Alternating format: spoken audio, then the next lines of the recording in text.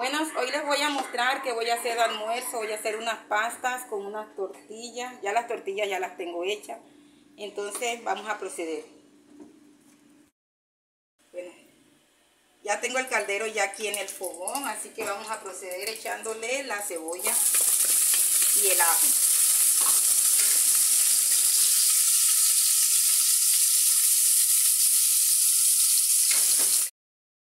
Ahora le vamos a echar el cebollín. Ya, huele delicioso ya desde ya. Por último vamos a echarle el tomate. Eh, también le voy a echar un poquito de caldo sazonador, un poquito de color. Revolvemos. Verduras están casi cocidas. Ahora le voy a echar crema de leche, que a mí me fascina echarle crema de leche.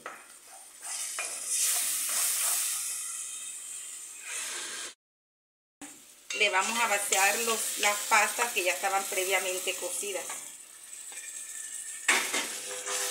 Echarle un poquito de sal.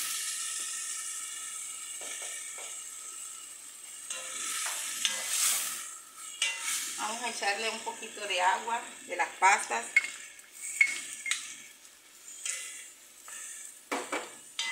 Y ya pueden ver cómo va quedando deliciosa estas pastas.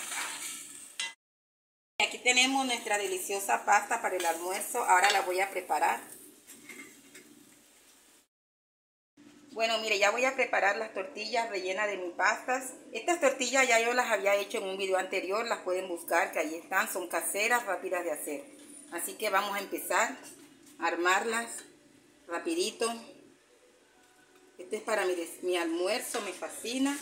Aquí está la tortilla, ahora le voy a echar un poquito de... Un pedacito de aguacate.